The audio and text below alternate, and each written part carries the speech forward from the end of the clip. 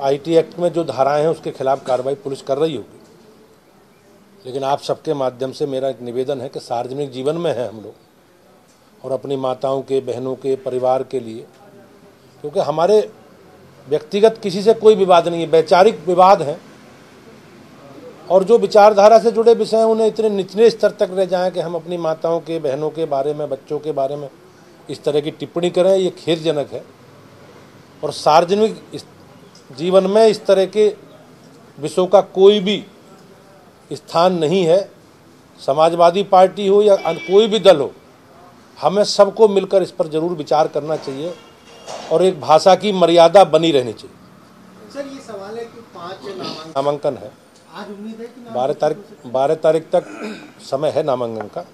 और नामांकन से पहले समय रहते हुए भारतीय जनता पार्टी अपने प्रत्याशी घोषित कर दी क्या बड़े लोग भी जाएँगे नामांकन में उम्मीदवारों को? जैसी पार्टी की व्यवस्था बनेगी जो पार्टी की तरफ़ से जिस तरह की व्यवस्था बनेगी और व्यवस्था में अगर पार्टी के सब लोगों को लगाया जाएगा और अगर ऐसा पार्टी का विचार बनेगा कि सब सीनियर लोगों को जाना है तो निश्चित रूप से जाए।